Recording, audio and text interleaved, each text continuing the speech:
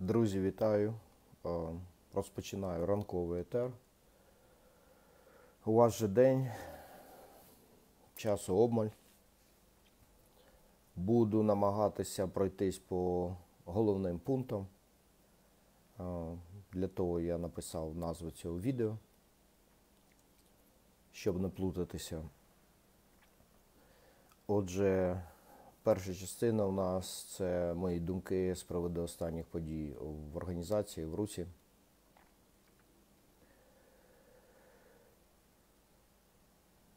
Що я можу сказати? Такий потенціал розумовий, інтелектуальний, енергійний і витрачається, я маю на увазі українців, українську націю, український народ, і витрачається на якусь метушню незрозумілу, витрачається на якісь е, незрозумілі аналізи, висновки. І е, проблема в тому, що ці висновки є хибними.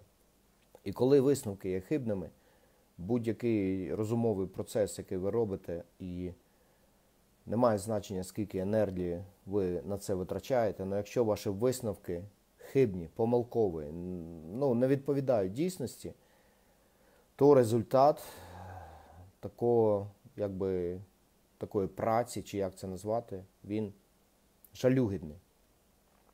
Це аксіома, це треба зрозуміти. Що якщо ви в результаті своєї, не знаю, там слідчої діяльності, бо дуже багато людей кинулось розслідувати, що ж це було таке, дуже багато людей не вміє ну, міркувати прямо. Чи як це сказати? Це, це така дивна якість сучасних українців, як наслідок пограбування, наслідок занедбання, наслідок байдужості, наслідок е, системи освіти ніякої, абсолютно фактично, е, того сього. І люди е, ну, не навчені або е, втратили здібність думати прямо. От е, є точка А і є точка Б. І треба їх поєднати логічно, якимсь логічним ланцюжком, якимсь е, поясненням того, що відбувається. Замість того, щоб протягнути пряму лінію, ці люди починають отак. Такий зігзаг, на який уходить купа часу. Потім у других людей, щоб цей зігзаг прочитати і зрозуміти, уходить теж купа часу. І весь цей час уходить в нікуди. І результатом є купка людей, які є, до речі, більш розумними, на мою думку. І вони грабують всіх цих дурників, які ну, зігзаги малюють. Ситуація е, з Іваном Бубенчиком і Рустамом Ташбаєвим. Е, купа людей чомусь вирішила, що це якийсь особистий конфлікт. Ні. Повторюю, ті, хто по сьогодні вважає, що це, е, значить так, якщо Рустам таке зробив, то це означає, що він на Івана за щось образився. Він на нього щось образився. От як ми робимо? да? Ображаємося, потім ми накопичуємо, накопичуємо. І коли ми бачимо, людина спиною до нас повернулася, такого ножа в спину. Да? Ні, Рустам так не робить, він цьому не привчений, він взагалі цього не розуміє. Іван Бубенчик ніколи там до мене якоїсь неповаги не демонстрував. Ну, було важко з ним зв'язатися. Це може різновид неповаги, ну все одно нічого такого, щоб він сказав щось на мене, щоб я образився чи що. Такого ніколи не було. Цим людям, які не здатні з'єднати точку А з точкою Б прямою лінією, а оці викрутаси роблять, вони ніяк не можуть зрозуміти, що ж такого страшного трапилось з Іваном, що Рустам так себе повів. Вони не бачать в цьому нічого страшного, і тому вони шукають пояснення. О, це значить Рустам. Гітлер. Це він Гітлер, це Іван йому показав, що він не буде нікому вклонятися, нікому підкорятися. Як там казали, да? не буде маріонеткою в будь-яких руках. І оце Ташбаєв, значить, губу закопилив і вирішив відімстити, чи помсту якусь зробити, чи прибрати, чи ще щось. Ні. На той момент, коли Рустам Ташбаєв розмовляв по телефону з Іваном Бубенчиком, І коли прозвучало вже тепер знамените слово западло, Рустам, коли набрав е, номер, точніше, Іван набрав вже Рустама в цей момент і розмовляв, Рустам вважав Івана членом нашої команди. І Рустам грав в командні види спорту, якщо когось цікавить, і знає, як працювати в команді. В команді треба посунути, вміти посунути своє его, свою зіркову хворобу чи ще щось на другий, третій, а може десятий план. Чому? Щоб команда виграла. І коли е, я з ним розмовляв, в чому різниця? Я хочу, щоб ви зрозуміли, в чому різниця між мною і Іваном. Ви чули слухання, ви бачили, що людина каже. Ем, добре, я думаю, що ця ідея була прийнята і впроваджена. Ідея прозорих слухань, до яких в Україні ніхто не звик і вважає, е, там деякі розумники е, у вигляді якихось адвокатів казали, що це бред навіть. Оце наскільки совок у людей сидить в голові. От. І ви почули там все. І різниця на початок цієї телефонної розмови, під час котрої е, вийшов ну, такий момент, коли я просто не, не міг більше бути в одній команді з цією людиною. Коли почалася телефонна розмова, Рустам вірив в те, що Іван просто, ну, може, там десь впирається такій особистості людині. Багато людей впертих, мій рідний брат впертий, вибачте, як Віслюк. Ну, я його люблю все одно. А, І він не може зрозуміти. Отаких От було в мене дві е, думки. І я намагався е, побороти цю впертість і при цьому роз'яснити, бо я бачу, що людина не може зрозуміти, що саме робиться не так. Це Рустам, про що думав. Але я це буду робити до людини, яку я все ж таки поважаю. До людини, яку я вважаю членом нашої команди. Ми всі разом йдемо, ми придумали, да? ну добре, я щось там придумав, люди погодилися з цим, і ми йдемо, щоб зруйнувати цю систему пограбування і знущання над українською нацією. Що мав в своїй голові Іван? Іван в своїй голові вже місяць, може більше, може два, мав думки про те, що Ташбаєву Порошенко через Семенченка купив трака за 194,5 тисячі доларів. Розумієте?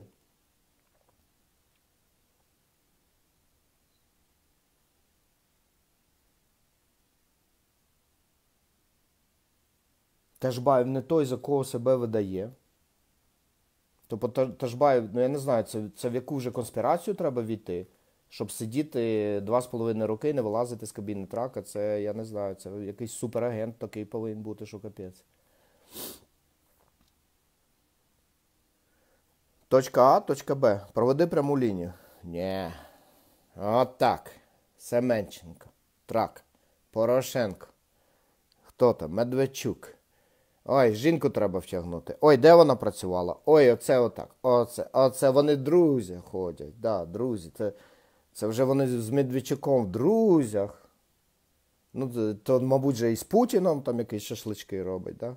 То фігня, що Ташбаєв, Олександру Залдостанову на прізвичко Хірург зробив в інтернеті звернення, де він сказав йому зняти американські кожані жилети, не називатися байкером, злізти з Харлея, а вдягнути свої кирзачі чи валянки, вдягнути ватник і сісти на восход з коляскою, і в ці коляски вести картоплю, як робили е, так звані байкери Радянського Союзу. І не косити під американців, під так званих піндосів. І це звернення розлетілося по інтернету. І люди, які на Ютубі його запустили, зараз мають по 300 тисяч проглядів, навіть гроші на цьому заробляють. Ну то хіба нас цікавить? Хіба нас цікавить провести пряму лінію? Ні, нам цікаво гратися в слідчих, в якийсь Шерлоків Холмсів. Ми нічого і так в цьому житті не вміємо, то хоч ну, в цьому себе потішимо, правильно? І от та історична розмова, в результаті котрої єдиний народний кандидат президента України від першого національного українського конгресу повністю втратив мою підтримку і мою довіру. У людей в голові було саме це. В одного якесь розуміння, що щось відбувається не так, але ще можна все полагодити, якось людина зрозуміє, що так не можна. Так, ну, як це сказати, некрасиво? Некрасиво нема вже такого словнику, да? чи що? Куди це слово е, поділося? Багато людей е, топить, ну, іншого слова не скажеш, топить за Бубенчика і кажуть, що він, е, де висновки комісії, що ви його судите. Ну, це люди. Е, це люди, які ну, взагалі там розумовий розвиток не дозволяють навіть зрозуміти, що комісія не робила ніякого судилища і не судила нікого. Вони звикли, що комісія повинна бути радянською. Да, Приїхала комісія на завод, всі бігають перед нею. І от що ця комісія скаже, отак е, судьба, доля цього директора заводу, да, цього Леоніда Кучмичикова так і складеться. Що можна зробити? Я не знаю. Все дав, все сказав. Ковбої мене ж вчили в Нью-Мексико. Ти коняку можеш підвести до води, але змусити напитися це неможливо. От. І вони е, кажуть: ну добре, скажіть нам, який злочин він зробив. Скажіть мені, який злочин робить е, водій маршрутки, який е, перед обличчям е, людини в камуфляжі або старенької бабусі закриває двері хоча місця ще є, і з місця трогається. Який він робить злочин? Кримінального кодексу стаття яка? Не знаєте? Я теж не знаю. Я думаю, що і не існує. Може, адміністративного кодексу є стаття? Ні, адміністративного кодексу статті немає теж. Він нічого не порушує. Де Юре він нічого не порушує. Ну ви чомусь його скажете, що він погана людина, нехороша людина, негарний вчинок, ви скажете. Чому?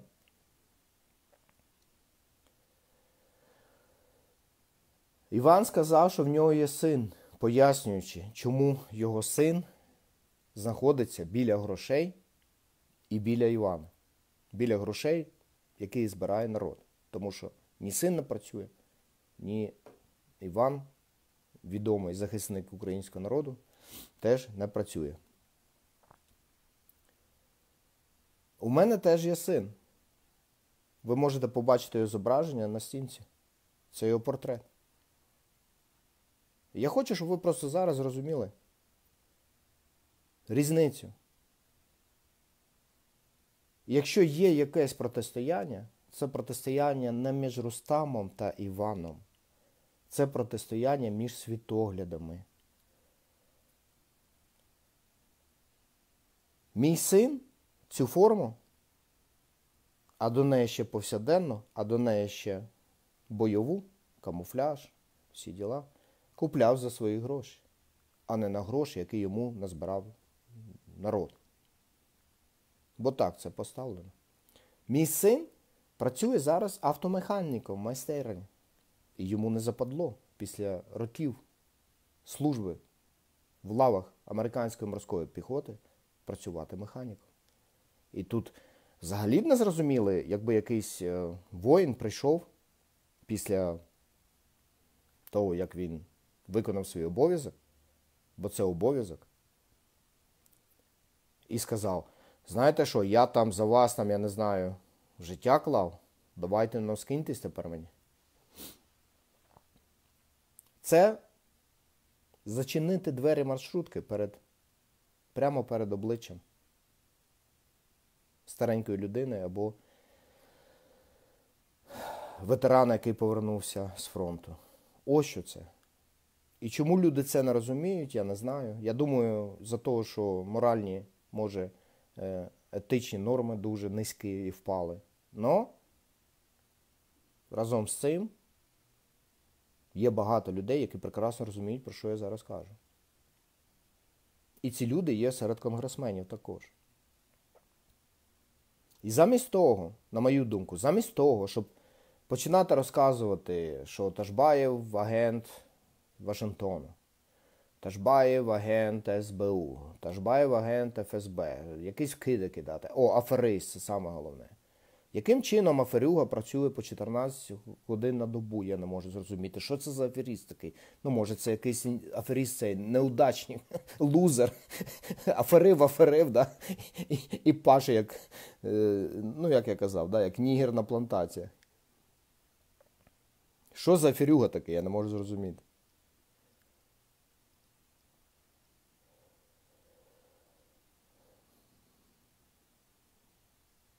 Це битва між світоглядами.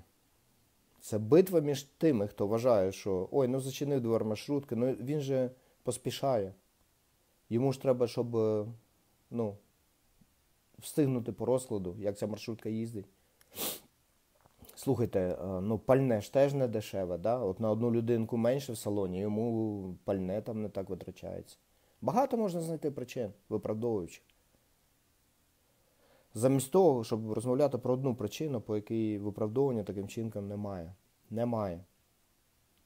Зараз фінансова комісія, я думаю, буде засідати і готувати звернення до Івана Бубенчика.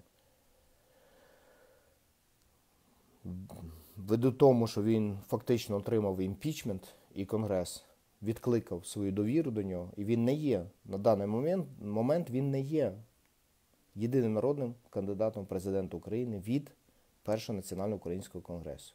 Він може бути кандидатом в президенти. Він може бути кандидатом президента від якоїсь групи осіб. Ну для цього, згідно законодавства, їм треба оформитися е, в політичну партію, здається, або як мінімум громадське об'єднання. Щоб вони не ходили там і не розказували, що вони конгресмени що це ми, конгресмени, ми всі п'ятеро там чи семеро конгресменів, ми висуваємо від Конгресу. Ні. Сім, п'ять, шістнадцять конгресменів не можуть висунути від Конгресу, на якому було е, в деякі моменти присутньо 132 е, особи. Ви навіть не деякі не вивчили назву Конгресу, той же Іван Бубенчик, так і не знав, як він правильно називається. А деякі вигадали, що було 160 конгресменів. Ніколи їх не було. Були порядкові номери, навіть 205, 206 були такі номери реєстраційні. Але це не означає, що стільки конгресменів було в залі. Бо четвертину конгресменів за два дні до початку проведення конгресу підкосили якісь раптові хвороби. Деяких з них підкосили хвороби їх близьких членів сім'ї. І вони написали, що вони не можуть приїхати. Якась епідемія повально почалася, якщо хтось забув, за два-три дні до початку конгресу. Тому багато місць залишилося пустими. І розказувати, що 44 е, людини, які проголосували за е, позбавлення довіри Івана Бубенчика, не представляють собою конгрес, це повна маячня а 16, які образились. Ну, треба ж образитися, да? І потім, коли людина повернеться спиною, Микола князів, що треба зробити? Коля князів, ти так хотів бути командиром Третього легіону. Ну, Твоя неадекватність в деяких моментах зупиняла мене проти такого призначення. А потім я дізнався про твої проблеми з алкоголем. І що в результаті я мав? Хоча я запропонував тобі, якщо не командиром, може бунчужним, ну на крайній випадок, навіть начальником Служби безпеки це дуже висока відповідальність і посерйозно. Ну ти хотів бути командиром, а Рустам тебе командиром не поставив. І як результат, як результат, коли Рустам повернувся спиною, Люди, які сьогодні кричать, ви зрадили Івана, втикнули мені в спину ножа. Голосуванням. Хто у нас там? Микола Князів і Ванда Князєва, його дружина. Ну, сімейний подряд це ніхто не відміняв в Україні, я правильно розумію? Іван Бубенчик також це так розуміє. Я одне не можу зрозуміти, чого ви Яника гнали? Я не можу зрозуміти, чим Яник гірше вас. Ну, морально-етичному плані. Я не кажу, що він вкрав менше, там, ніж хтось там з тих людей, які ми конкретно побачили, що вкрали. У нас є ще одна е, категорія дурнів, яким предоставили всі документи, все продруковано, все на загал, а вони не можуть зрозуміти, що ось людина два рази відправила по 150 євро, і ці 150 євро на єврорахунок застави. А людина конкретно сказала, це на президентську заставу. Вони не потрапили. Ви не знаєте, як це називається? Як це у вас називається? Як це у вас називається? Я скажу, як це називається в Америці. Може, ну я не знаю, може ми і справді на різних планетах і все таке. В Америці це називається вкрав. Вкрав, поцупив гроші. Не зрозуміло? Взяв гроші, пішов, купив собі піци або перчаточок тактичних, або там ще якусь фігню, або витратив на якісь там свої поїздки приватні. Бо офіційних поїздок було лише дві. І один раз на суд, да, Дашкевич збирала, пам'ятаю. Не вистачало трошки на суд доїхати в Київ. Я пам'ятаю цю телефонну розмову з пані Дашкевич. Вона мені пояснювала, як треба багато грошей. Я не міг зрозуміти, а що на потяг. Ну я ж не знав тоді, що слово западло треба було ну, застосовувати. А на потяг сісти западло Рустаму, американцю, з доходом в 3 тисячі доларів США в місяць, коли він в 2015 році зустрічався. Е, з громадськими активістами різних міст України і був на лікарняному, і лікарняний цей складав 60% від моєї зарплати, коли я повністю здоровий. А коли я повністю здоровий, я заробляв 5 тисяч доларів на місяць, то лікарняне мені оплачував згідно американського законодавства 3 тисячі доларів на місяць. Тобто я знаходився в Україні з доходом в 3 тисячі доларів на місяць. Ви розумієте, як мені було смішно, коли мене звинувачили, що мені е, ну, треба було гроші ДНР, ЛНР, щоб якихось сраних 6 наметів поставити, який кожному ціна, вибачте мене, 25 доларів, щоб придбати його. Рустаму було не западло на потязі їздити. В Харків я їхав на потязі, цьому скоросному. Дуже жалкую, бо в цьому потязі я читав книжку. Е, генерала Веслі Кларка, який він особисто мені підписав, подарував. Я розмовляв з людиною і поклав цю книжку в цю ніжку, цієї сідушки, що попереду мене, і забув її там. Дуже-дуже жалікував. Ну, що поробиш? Так сталося. В Одесу їхав на машині, бо була людина, яка могла мені допомогти, на бензин там якось скидалось. А з Одеси їхав на потязі людина захворіла і все, поїхав на потязі. А пані Дашкевич мені розказувала, що на потязі вони не їздять. Я понял. Ну я ж не знав, що западло, я ж такий наївний американець. Знаєте, це американцям та простим українцям не взападло. А є, е, я так розумію, в Україні політична еліта. Є така, що вже є у влади, біля корита сидить, а є така, що готується до корита. І вони там, я так, ну, я своїми очами зараз побачив, як підготовка йде повним ходом. Правда, Рома Мончак? Комбат чесний, керівник спецпідрозділу правого сектора Сонечко. Правда? Підготовка повним ходом йде. Да? Потім ми дивуємося, звідки беруться зрадники, звідки взявся Ярош, ще там хтось ми всіх зрадниками називаємо. Ти мені написав, Рома Мончак, що я знаю, і ти знаєш, ти якось так красиво, так знаєш, ти так як на розборках. Це ти де Мукачево навчився з цими мурчащими, ці ланьо це, чи що, з його хлопцями навчився мурчати. Бо я теж мурчати вмів. Я не знаю, чим ти займався, я колись блатним життям жив. І я тобі розкажу і покажу так, що ти не встигнеш зрозуміти навіть, що це було і ти на мене наїхав, ти мені кажеш, що ти мене вб'єш, і я вже жмур, то приїжджай. Велкам, подивимося, як це вийде. І ти мене в чому звинуватив, що я працюю на СБУ? То поясни мені таку логіку, Рома. З тобою ще не зустрічався. Сподіваюсь, що якщо ми зустрінемося, ця зустріч не буде останньою для одного з нас. Бо я бачу, ти настроєн рішуче. А я коли бачу загрожу, загрозу, Рома, ти ж ти ж ну, грамотна людина. Коли людина бачить серйозну загрозу, то треба працювати на упередження. Тому я взагалі вважаю, погрожувати не, ну, не варто.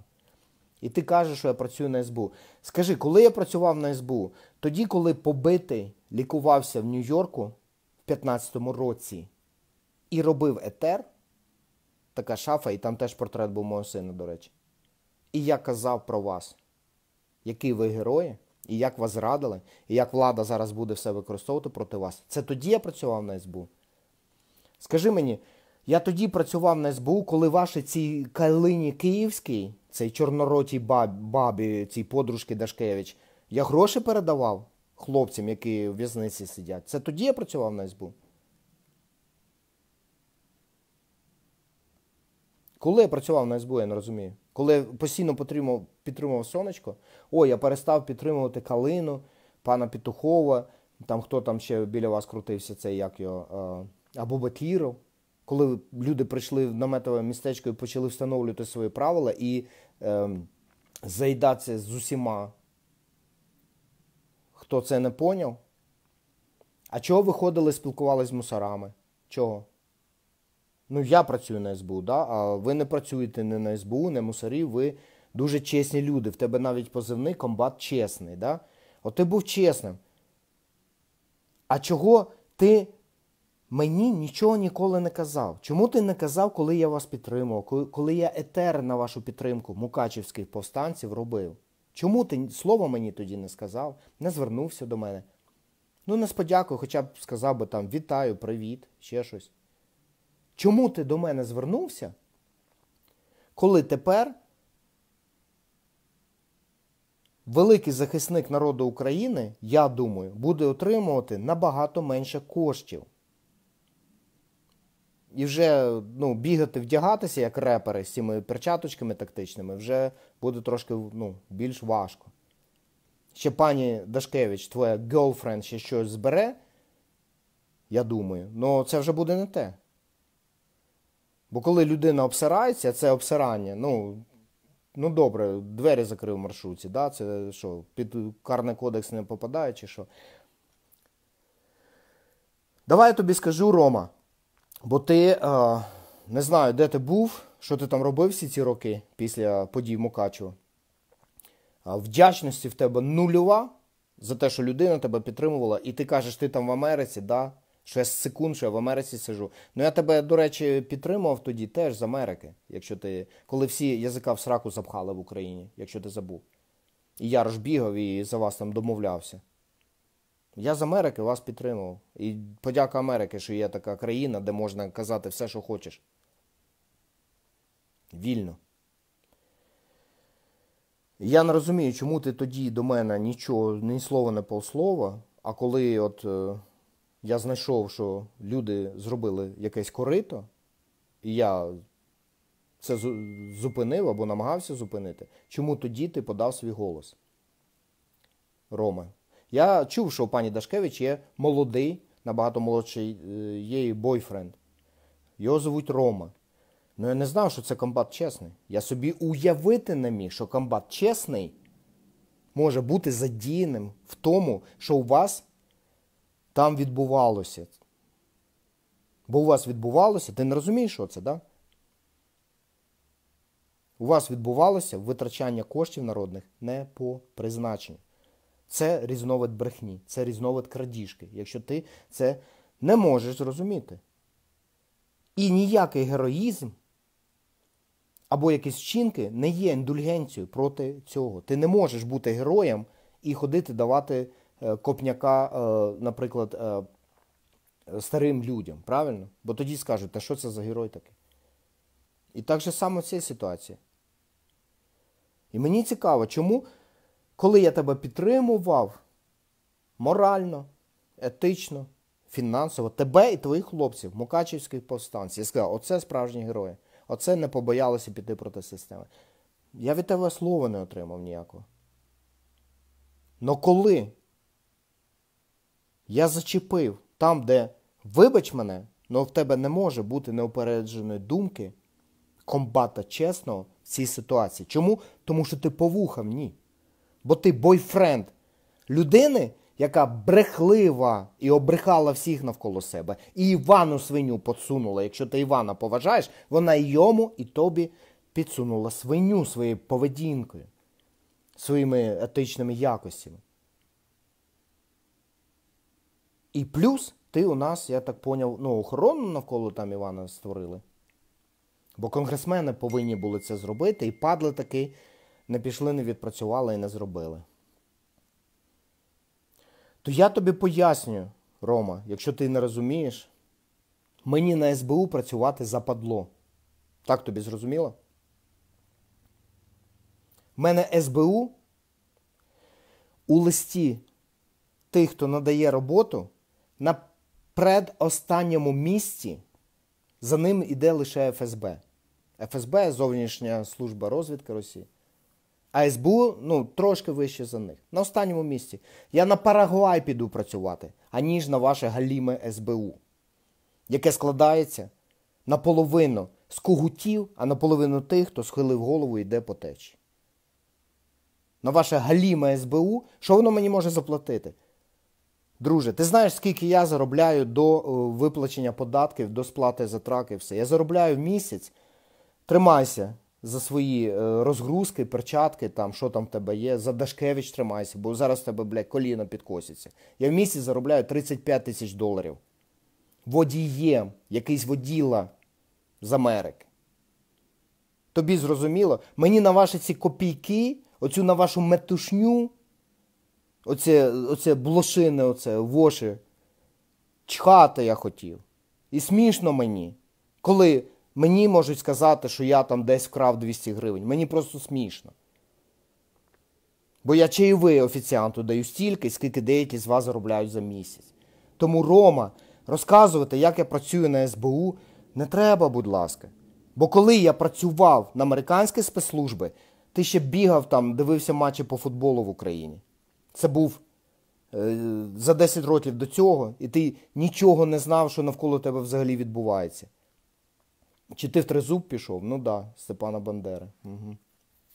На Леваченко стояв і дивився, як ви там шикуєтесь і гуртуєтесь. Да?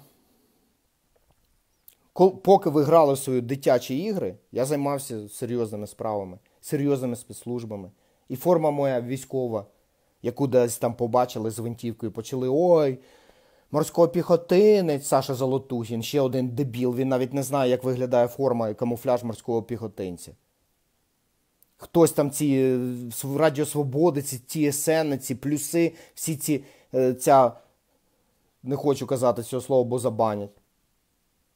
Морський котик. Та ні, придурки, морських котиків зовсім інша форма. І в них нагрудний знак зовсім інший. То я в силах, які працювали по Лівії, Саме тому, що я знав військовий устрій і російську мову, працював проти Росії, коли ви футбол дивилися по телевізору і пальцем в носі колупалися. А сьогодні ви мені будете розказувати, як я працюю на ваше галіме СБУ, чи це вонюче ФСБ. Та ви що? Що ви мене так принижуєте? Ви що думаєте, я такий галімий, як ви? Що ви продаєтесь, хто тільки гроші дає? Ось моя репутація позаду мене. Ти погрожуєш члену сім'ї морського піхотинця? Рома?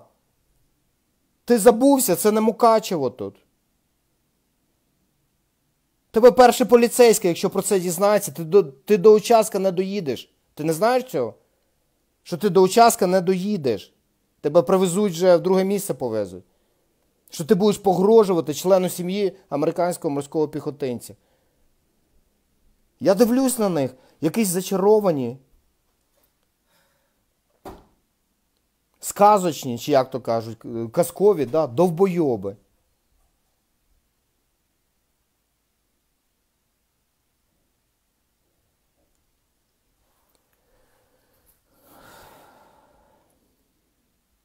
Добре. Що у нас там далі? Івану Бубенчику будуть, я думаю, пропонувати повернути гроші Е, які йому люди зібрали на заставу, з метою того, щоб їх ці гроші е, посортувати, роздати людям, хто хоче отримати їх назад. Люди, які незважаючи на те, що двері маршрутки захлопнулися перед носом ветерана або старої людини, люди, які в цьому не бачать ніяких проблем, вони мають право отримати свої гроші і знову їх надати Івану Бубенчику. Він надасть, я думаю, рахунок чи ще щось. Ця сума не така велика. На мою думку. Для когось вона дуже велика. Для того, хто, я думаю, розказує історії про те, як Порошенко купляє там якомусь американцю, який плювати хотів на цього Порошенка, на ці СБУ, на ці ФСБ і на всю цю е, мишину цю возню, е, що він йому траки якісь купляє там чи ще щось. Е, для цих людей це дуже великі гроші. Для тих, хто звик жити за чужий рахунок, це дуже великі гроші. Моя думка щодо цих грошей це там майже 200 тисяч гривень і 1020 доларів, якісь якось потрапили все ж таки. А скільки там покрадено, скільки там євро і доларів не дійшло, Western Union і MoneyGram перекладів, які просто йшли і витрачалися одразу і не були покладені на цей рахунок. Ну чомусь знаходяться дібіли, які цього не бачать, не розуміють, прощають, вважають це нормально. То я не знаю. То це у нас там 200 тисяч гривень, я навіть не знаю, скільки це, це може скільки там 8 тисяч, 7 тисяч доларів. І ще одна тисяча, це 8 тисяч доларів. Зараз ми побачимо всю честь і совість. Саме смішно, в цій ситуації, що за 8-9 тисяч доларів президентство не купиш, е, бюлетні не потрапиш. Треба набагато більше, треба 100 тисяч доларів. 100 тисяч доларів треба. За 8-9 заставу не отримаєш. А от совість втратити повністю можна. Зараз ми побачимо, чим це все закінчиться. Хтось сказав, е, хтось в переписці, я запам'ятав цей момент, сказав, що я не вірю, що Іван не поверне цих грошей. Я йому відповідаю: ну, побачимо, побачимо, час покаже. А він такий. Та ні, ну не буває таке, щоб людина була 100% е, ну, злом, 100% злом. Нема 100% зла, він сказав, і нема 100% добра. Я посміхнувся, нічого не відповів. Подивимося. Подивимося, як це буде. А...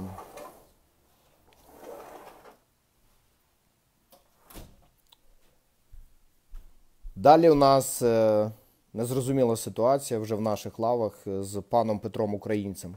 Пан Петро Українець е, почав свою діяльність Конгресу. На конгресі я побачив, що це імпульсивна людина. Я нагадую всім конгресменам, хто може не не запам'ятав пана українця. Це був той пан, який в перший же день щось йому не сподобалося, ви пам'ятаєте, і він встав прямо посеред роботи конгресу. Він встав і сказав, що йому нема тут що робити.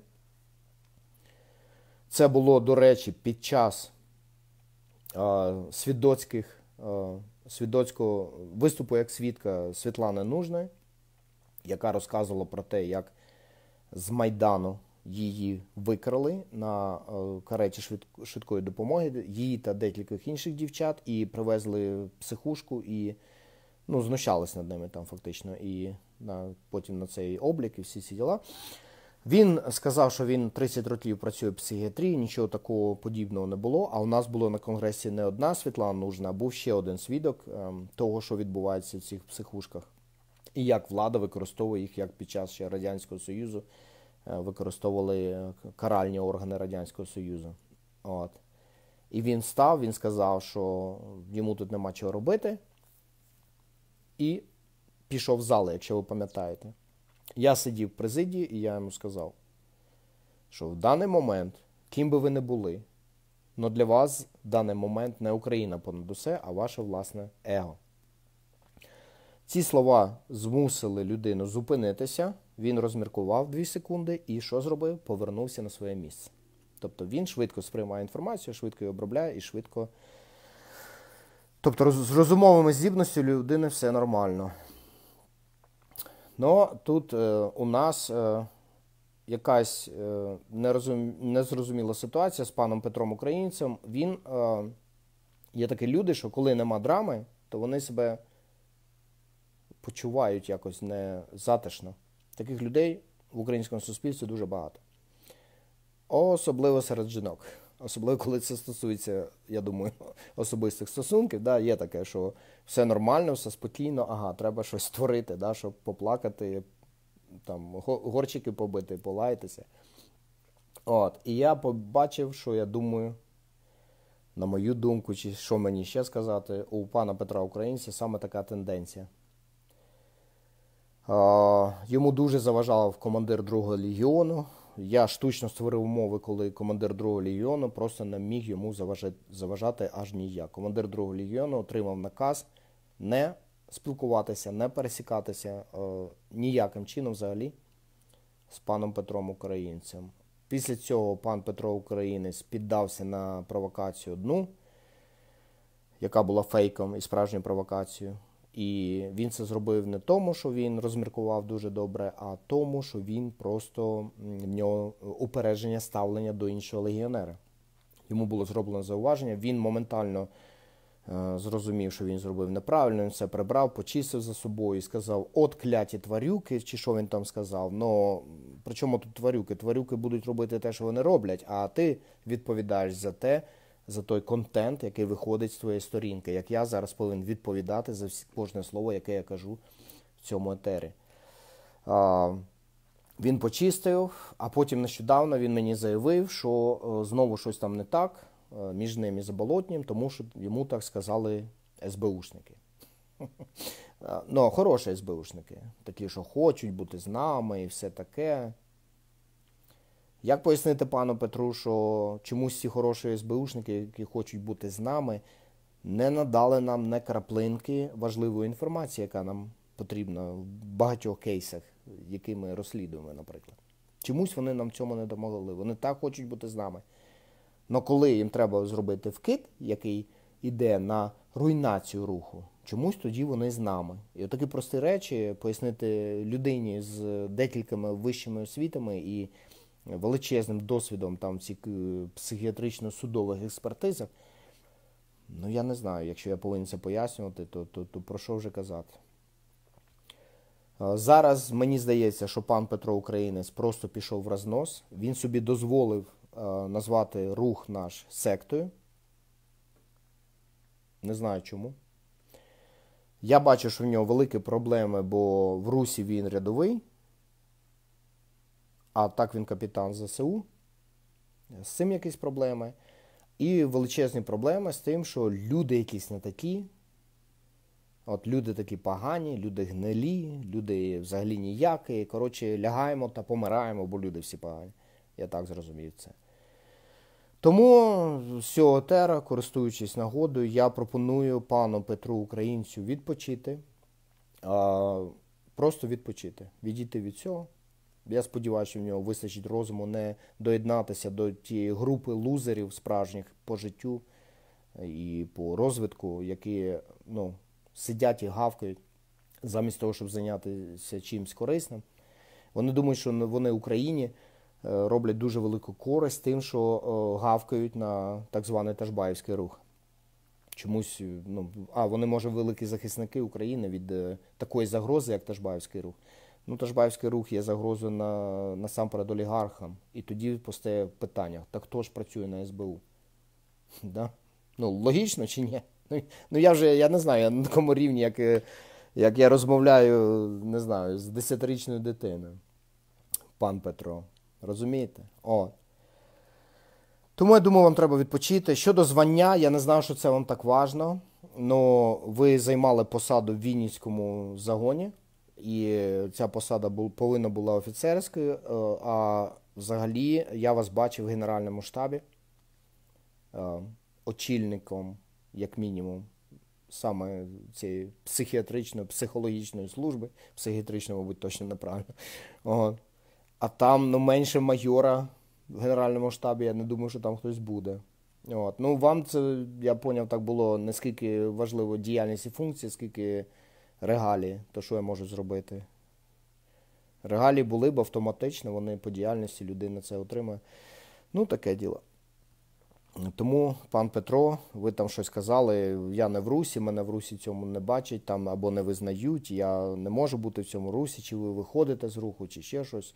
Ну, слухайте, ну нянчилися з вами достатньо. Я вам чесно скажу, стільки, скільки з вами я пронянчився, я ще стільки нянчився, ну, може, з Саухом і Старовєровим. І знаєте, от тенденція, чим більше віриш в те, що людина ну просто їй чогось трошки не вистачає. От трошки треба там підказати, там трошки навчити, там трошки якийсь приклад з життя там або з досвіду привести. І людина все, вона зрозуміє, вона стане. Ні, ні, це тенденція. Якщо людину треба займатися бейбісітерством, це ми так тут називаємо в Америці. Тобто нянечка повинна бути там ложечкою кормити, щось там ротика витерти, там, да, ззади там підтерти, колисково проспівати. То там вже все. Воно, ну, скільки не співай, скільки не старайся, воно воно ще швидше буде йти в рознос і незрозуміло коли. Тому, я думаю, пан Петро, вам треба відпочити. Вас ніхто не виганяв.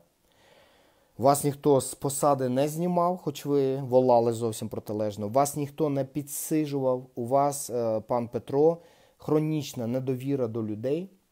У вас, пан Петро, на жаль, розвинута параноїдальні якісь е, абнормалі. Ви придумуєте якісь страшенні історії, що проти вас іде якась мова. І ви цим тішитесь. І у вас також ну, хворобливе его. Ну, нічого, що я вам, як психіатру, з таким стажем величезним, 30 років чи скільки у вас, да? ну, психіатру теж треба іноді прийти до когось і прихилити голову. То я вам, як шахрай, е, очільник секти, е, професійний, колишній професійний покерний гравець, який ну, більше ніж 10-15 хвилин, щоб повністю зрозуміти, що за людина передо мною. Ви розумієте, це в мене професійно. І там ем, платиш за помилку власними грошами і великими сумами. Розумієте, ну, там така школа, що 30 років психіатрії, я думаю, там відпочивають проти півтора року професійної гри в покер в Лас-Вегасі. Да. Коли ти так зробив помилку і 16 тисяч доларів, так бачиш на столі раз, від тебе перейшли якомусь придурку, бо ти зробив помилку. О, то там вчишся дуже швидко. От я вам кажу, що з вами відбувається. Параноїдальні замашки, а, величезна тяга до о, і спокуса до інтриг. Ви не можете втриматися, щоб не обговорювати особистість і особисті якості іншого легіонера. Ви постійно порушуєте статут конкретно його частину, яка називається Кодекс честі легіонера. Пане Петро, з усією повагою до вашого рівня освіти, розумових здібностей, ви занадто слабка людина, щоб бути легіонером. Я сподіваюся, що ви не підете потім і не почнете розказувати, що Ташбаєв мене зненавидів з першого дня. Він таке падло заслане. Він всіх найкращих людей кудись там виганяє свої секти, потім погрожує їм спороти киші, вбити там всю родину і все таке. Я сподіваюся, що ви не опуститесь до цього. Ви просто справді вкрали в мене та в інших дуже багато часу. Ну, вкрали. Ну, як вкрали? Добре, ми добровільно, сподіваючись на ваше, якби, ну, що ви один з нас вам дали цей час. Я свій час на вас витрачати сьогодні. Я це написав в групі модераторів, щоб ви прочитали, і зараз ВТР це підтверджую. На вас особисто свій час витрачати я закінчу. Мені потрібні люди дії. Мені потрібні люди, які, якщо не є професіоналами, то професіоналами вони хочуть стати. І все для цього роблять і при цьому займаються не тільки освітою, але й самоосвітою, самі все вишукують, самі всьому вчаться. Люди, які е, сфокусовані на алгоритмі, на результати насамперед, а про оточення вони своє е, починають розмовляти лише коли ми збираємося для того, щоб визначити, чи підходить ця людина за своїми людськими якостями на ту чи іншу ключову позицію, або коли деякі люди е, саботують або заважають їх діяльності. Тоді це теж логічно пояснюється, і ми приймаємо рішення. Іноді достатньо лише розділити сегменти відповідальності цих людей, щоб вони не пересікалися, і все стає нормальним. З вами, пан Петро, ми маємо хронічний випадок, і чим далі, тим гірше. І коли ви вже на той рух, який ви людям пропонуєте, рекламуєте, не знаю, пояснюєте, чому саме так, а не інакше, в вас так заносить вже далеко, що ви його вже, вважаючи себе легіонером, називаєте сектою, то там вже мертві бджоли не гудуть, а гудуть так тихо. Так кажуть психіатри. Пан Петро, дякуємо вам за те, що ви намагалися зробити ваше краще.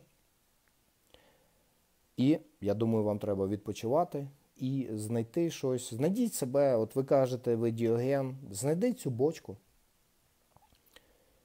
Вже сядьте в неї. Та я думаю, громадяни Афін принесуть вам жменьку риси, чи де він там був, чи там в Сіракузах він був, я вже не пам'ятаю. Та склянку води. І там сидіть і розказуйте, які люди гнилі в українському суспільстві, як з цими людьми нічого зробити не можна і не вдасться. А ми будемо, працюючи з багатьма, може, і гнилими людьми, вишукувати людей негнилих.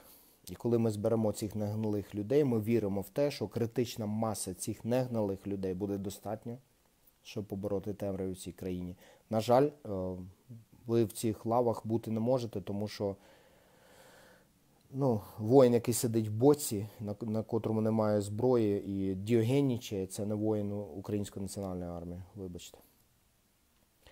А, Що ще? Далі, там по пункту програми, я казав про кандидатів в президенти. З події ми закінчили. Подивимося, як далі буде розвиватися, як Іван Бубенчик буде виконувати рішення конгресменів, які він сказав. Я ж думаю, що він не збрехав, він же у нас чесна людина. Що він е, сказав під час слухань, що рішення конгресменів для нього є законом, так же, як я це признав. От, а, Відносно кандидатів в президенти. Ситуація дуже складна. По руху, по нашому алгоритму шортката. Шорткат це навпростець. Тобто є чітка дорога, але вона не сама коротка. Да? І є стежка, якою можна спробувати досягти пункту Б, почавши з пункту А, да? навпростець. Вона важка, вона вузька, можна послизнутися, можна впасти, але дійти можна раніше. А дійти раніше це означає менше смертей. Тупо менше смертей. Тих, хто вмирає від голоду тих, хто вмирає від е, того, що не вистачає ліків, тих, хто вмирає на фронті, захищаючи е, державність та суверенність України, і багато чого іншого. Ті, хто вмирає в в'язниці. Розумієте? Тому, е, якщо є шанс, за нього треба братися. І такий шанс був. Можливо, він ще залишається. Це був шанс не багаторічної боротьби коли проти нас будуть е, всі силові органи України, де може хтось нам навіть співчуває і хотів би нашої перемоги, але вони повинні виконувати свої е, накази, своїх командирів. І купа цих командирів, або від кого вони отримують накази, це е, ставленики олігархів, які захищають свою систему пограбування цілої нації, цілої України.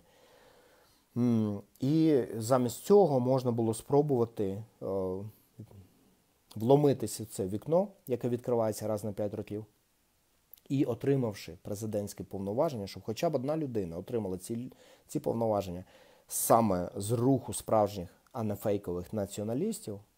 Бо фейкові націоналісти це ті, які йдуть на компроміси. Фейкові націоналісти відрізняються тим, що вони домовляються з тими, кого вони називають внутрішніми окупантами. З окупантами не домовляються. Окупантів знищують. Ну, Перед цим треба до цього знищення підготуватися. Якщо він засильний, треба відійти в ліс, да, як вчать спротиву швейцарські офіцери. Е, Якщо у вас є перевага, значить ви повинні завдати удару. Удар повинен бути ніщівним. Ні з ким ви там не розмовляєте, не домовляєтесь, ви просто їх знищуєте. От. І такий шанс був, і тому ну, стався конгрес. Це одна з причин. І третина роботи конгресу цієї ну, безцінного цього часу, за яким ми могли прийняти якісь другі закони, якісь другі започаткувати щось інше. Ми, до речі, у нас просто тупо не вистачило навіть часу, щоб визнати ДУК правого сектора і батальйон ОУН абсолютно легальними військовими формуваннями, бо нагадую, вони по сьогодні вважаються нелегальними. Ніхто не збирається там в цій е, Верховній Зраді е, приймати е, якби, якесь рішення, щоб легалізувати ці підрозділи. Ми не встигли цього зробити, бо у нас третина часу пішла на праймеріс. У нас третина часу конгресу пішла на то, щоб з наших лав, хоча б з цих невеликої кількості присутніх, знайти людину, яка буде більш-менш адекватною, більш-менш розумною, більш-менш е, ідеологічно міцною. Це було дуже важливо. Бо ем, ну, людину може натренувати і ораторському мистецтву, і писати складно, і ще щось, але оцієї порядності людину навчити дуже важно. Ну, важко. От. І, як я розумію, багато людей просто закохалися в біографію Бубенчика нещодавньо, де він був героєм Майдану і героєм війни. І люди проголосували, може, не за здоровий глузд, але за героїзм. Це все одно нормально. Бо герой повинен бути порядною людиною. Я не бачу в цьому ніякої помилки. Коли люди починають розказувати, як ви помилилися, да ви зробили все не так, в мене до них одне запитання: а де були ви? А чого вас не було на конгресі? Е, ногу зламали. Угу. Що, не так вам хтось відповів? Ну, якось іншим 100, не 100, а 205 людей зареєстровано було. Чомусь їм відповіли так, чомусь вони змогли зареєструватися. Може, не кожен приїхав, але вже отримав свій реєстраційний номер. Яку ви ще отмазку гнулу придумаєте? Що ви ще там придумаєте? Що вам ще зробили не так? На блюдічки вам не принесли, щоб ви були на конгресі і продемонстрували всім, як правильно треба голосувати, да? як правильно треба приймати рішення, як правильно треба рятувати країну. Да? Ні, ви не можете там. Да? От в Фейсбуці, в коментах, зато ви можете це робити. Ну, зрозуміло з вами все. Люди закохалися в героя, люди проголосували за нього. Я голосував не за Бубенчика, я е, е, голосував за Якимовича. Чому? Тому що я просто його краще знав. Я бачив людину в справі, я бачив, як він дивиться безстрашно в очі мусорам. Е, я не кажу, що Бубенчик може безстрашно дивитися в очі мусорам. але я не бачив, як він це робить. А як Якимович це робить, я бачив. Я проголосував за Якимовича, і Якимович також його розумові здібності і самоорганізація досить високі. Е, тепер ми точно це знаємо в порівнянні з Бубенчиком, бо е, ну, він був начальником штабу батальйону Донбас. Е, такі якби, функції дуже важливі будь-кому не надаються, скажімо так. Для цього треба буде кваліфікаційно бути на досить високому рівні. От, ну, Звісно, що коли кормушечка маленька, створена у Львові, тріснула, бо по неї вдарив ногою Рустам і загуло так, що всі почули, то е, одразу виникла теорія е, глобального заколоту, там масонське ложе, да, чи що там, чи глобальне єврейство, що Ташбаєв хотів Якимовича, а виграв Бубенчик. І Ташбаєв ніяк не може заспокоїтися, і це він Бубенчика вирішив скинути, щоб Якимовича просунути. От, ну, Е, це дуже-дуже мусолило, всім все розказували, як за факт. І з'явилося там вже і Семенченко з'явився на сцені одразу, і Порошенко, звісно. Ну а як без Порошенко? Як трак можна купити без Порошенка? да? О, Хіба нормальна людина може піти і купити щось за 200 тисяч доларів, якщо Порошенко там не участвує? Звісно, не може. Бо це тоді не нормальна людина, це тобі тоді якийсь ну, американець чи мурашка з планети Марс, чи ще щось. От. І а, ну, цю версію якби дуже легко зруйнувати, тому що Клімович і тоді не дуже хотів е, якби займатися цим. Акімович не розділяє всі мої погляди як ідеолога, я вам одразу кажу. І це нормально, абсолютно нічого в цьому не бачу. Погано. І я впевнений в тому, що якщо Акімовичу ми зараз запропонуємо, що ось у нас номер один злетів, отримав імпічмент, і ти ну, по логіці номер два, то він скаже: хлопці, дівчата, ідіть, ви знаєте куди, кудись до там Лисої гори, бо я зайнятий, в нас свої справи тут в цьому Донбасі. Ми там людей вишкіл робимо. Мені нормально, мені комфортно. Мені це ваше президентство не треба. Я впевнений, що він так і скаже. Тому е, пані, там дуже моторні чи мобільні пані, які придумали цю е, чергову версію, я думаю, вони з нею знову помилилися. І у нас зараз проблема. Проблема в чому? Ми втратили 5 місяців на людину, яка просто виявилась, що з деякого моменту вона не вважала членом себе нашої всієї команди. Вона сприймала те, що люди пашуть, люди пахали. Інформаційний відділ пахав. З Івана Бубенчика який був всього-навсього одним з персонажів новин е, патріотів, яких система намагається там кинути в'язницю або кидає в'язницю. За п'ять місяців Іван Бубенчик став відомою на всю Україну людиною. Завдання, котре Іван підтвердив в своїх там висловлюваннях або в етері, я не пам'ятаю, або на слуханнях, завдання, яке поставив узурпатор Гітлер Наполеонович Ташбаєв було в тому, що про Івана знали усі.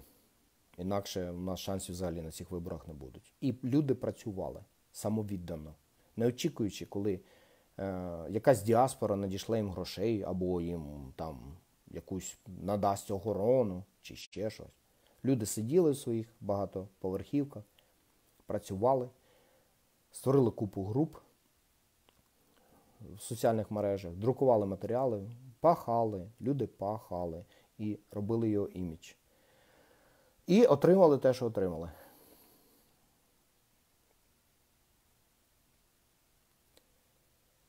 Це дуже неприємно, дуже важко це розуміти. Багато людей не може це просто пояснити, багато людей в шоці, тому вони починають казати, це ви помилилися під час конгресу, ви не того обрали, от треба було не так обирати, от треба було не так робити. Дивіться, людині було надано кредит довіри. Це абсолютно нормально. Людина цей кредит довіри використала, як вважає, потрібним. На, на, мій, на мою думку, особисто він цим кредитом довіри зловживав, використовував неправильно це все. І під кінець саботував свої, я не знаю, віри в те, що Ташбаєв не той, за кого себе видає, чи ще якусь маячню. Він саботував свій власний навіть е, президентську кампанію. Ну, я думаю, що це дуже позитивно, що це, це ми дізналися не за п'ять днів до початку виборчого процесу, бо це був.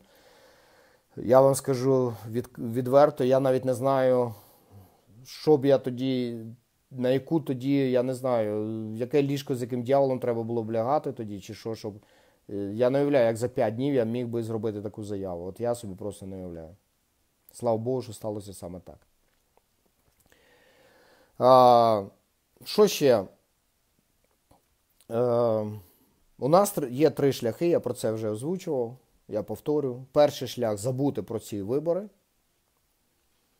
не демонструвати нашу слабкість як організації під час цих виборів, тому що часу дуже мало.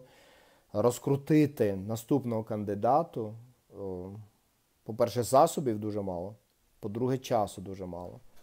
І якщо з ним ще щось буде не так, то є величезний ризик, що люди втратять віру в організацію і в демократичні засади взагалі повністю. Є у нас такий шлях. Другий шлях у нас є все ж таки зберігати оптимізм і знайти когось в наших лавах серед тих людей, які вже себе якби е, ну, репутацію напрацювали за ці 5 місяців. Є люди, які напрацювали собі репутацію. Або озирнутися навколо нас. Навколо нас озирання я розпочав, пояснюю вам приблизно пару днів назад, був дуже зайнятий. І е, ви пам'ятаєте, коли перші пройшли слухи про те, що Бубенчика, скоріш за все, він вже не буде єдиним е, кандидатом від Конгресу, багато людей побачили, е, так би мовити, електорат, якому нема кого підтримувати. Ви пам'ятаєте, да? І е, до речі, дуже цікава і смішна ідея знайти людину з такою же прізвищем Бубенчик. О, І вони всі кинулися рекламувати своїх кандидатів. Вони всі кинулися рекламувати своїх кандидатів. Вчора я ознайомився з більш детально з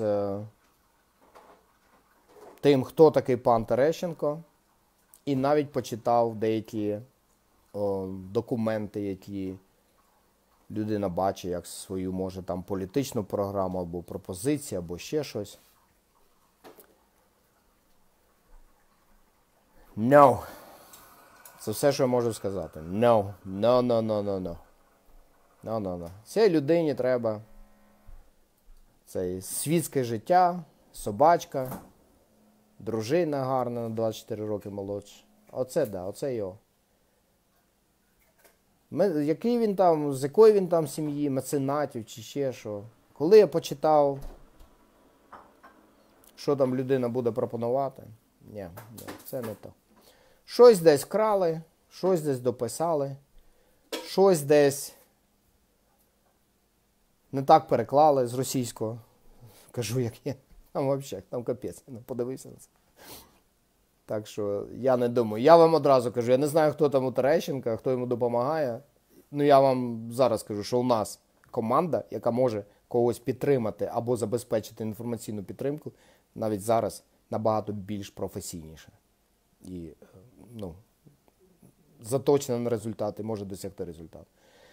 Так що Терещенка, ну, я не бачу. Це моя суб'єктивна думка, може громада буде думати по-іншому. Я не бачу, як ця людина може бути президентом України. З цим жахливим акцентом, з цією мовою, вона не українська. Я не знаю, що це за мова. Ну, це не українська мова.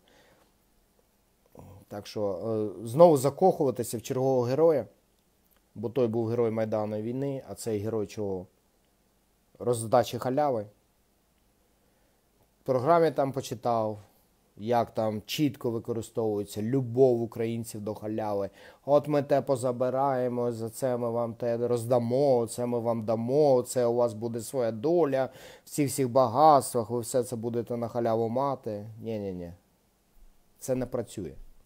Ну, в реальному житті. Ну, в думках, фантазіях це приємно, але в реальному житті це не працює. І ця людина, якщо це пропонує, людина, яка є європейцем, французом то це або не він пише, або він цьому нічого не розуміється. Бо коли людина жила в палацах з цими болонками короля, то йому якось було не до не до тонкощів, як там ну, бідним людям живеться, розумієте? Так що ні-ні-ні. Моя офіційна позиція ні. Терещенко, ні, не просіть, не моліться. Дуже гарна людина, приємно було посидіти фешенебельному ресторані поруч, да, поспілкуватися про Францію, там Єлісейські поля і все таке. Ну, президент України ні. На що я звернув увагу? Що привернуло мою увагу? Я вам зараз все це відкрито кажу, як є. Е, зараз всі насторожилися, да, бо зараз е, Особливо настовбурчилися ті, які будуть зараз писати е, цілі поеми про те, як Ташбаєв прибрав Бубенчика, бо він є людиною, ну, вже не Семенченка, да, а ось що з'ясувалося. Да? Ну, ви будете шоковані, може, дехто з вас. Ну я зараз приглядаюся до е, Руслана Кошулінського. Так, з тої самої свободи. Руслана Кошулінського і Роман Безсмертний. Мене цікавий. Що я маю на увазі? Я маю на увазі, що з цими людьми, я вважаю, треба поспілкуватися, побачити, наскільки вони притягнуті до якихось там, я не знаю, вірьовочок чи сьомочок, да, ниточок партії або групи людей, які їх висувають. Ці люди повинні нормально, абсолютно людською мовою пояснити звідки в них гроші на заставу. І ці люди повинні ознайомитися з програмою, яку я пропоную, яка ще не буде опублікована. Вони будуть, можливо, першими, хто з нею ознайомиться ще до того, як вона буде е, якби опублікована на загал, і навіть до того, як е, за неї буде проголосовано на другому національному українському конгресі. Таки можливо. Для чого це треба? Для того, щоб ці люди прочитали і зрозуміли головні засади, як зробити українців багатими та заможніми, а державу могутньою та незалежною.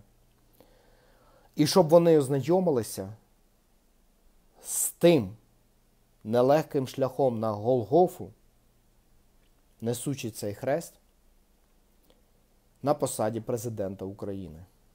Бо буде жесть, це я попереджаю.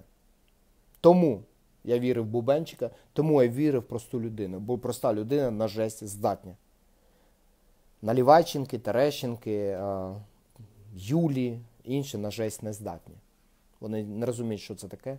Вони не знають, що таке радикальна кардинальна дія, революційна дія, вони цього не розуміють. У них будуть домовленості, вони будуть е, устаканювати, да, хто де що, де хто що, там хто дербанить, хто там наглядає, хто там смотрящий, хто там який. Ці люди не підходять. І я повинен побачити або в Кошулінському, або в Безсмертному. Я пропоную також пропонувати інших людей, яких е, ви знаєте. І це я зараз розмовляю про варіант третій. Якщо ми підтримуємо когось за межами нашого руху. Я повинен цих людей побачити, чи вони готові нести цей хрест. Бо це не те, що написано в їх е, програмі, ну, наприклад, тієї ж свободи. Якщо людина йде на президентство з наміром виконувати від букви до букви, що написано в програмі свободи, то е, ну, ця людина, ми не зможемо її підтримати, бо ця людина поруч з здоровими правильними об'єктивними е, завданнями націоналізму також буде тягнути всіх назад, тому що в програмі свободи, на жаль, е, її складали люди, які не мають відповідного розуміння, як працює е, сама ефективна економіка у світі. Вони не мають цього розуміння і вони. Вирішили там в угоду електорату, щоб електорату було приємно це читати або чути запропонувати те, що працювати не буде, ну дуже приємно для ушей. Розумієте? Ми повинні, якщо це Руслан Кошулінський,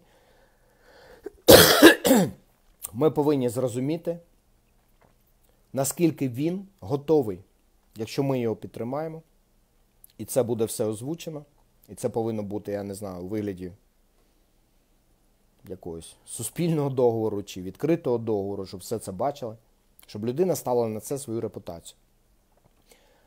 І якщо він зрозуміє в результаті цих спілкування, перемовин, як хочете це називайте, що є шлях, який є більш реальним і ефективним, і тоді сила, яку ми вже зібрали і продовжуємо збирати, підтримує його як кандидата від націоналістів, від патріотів.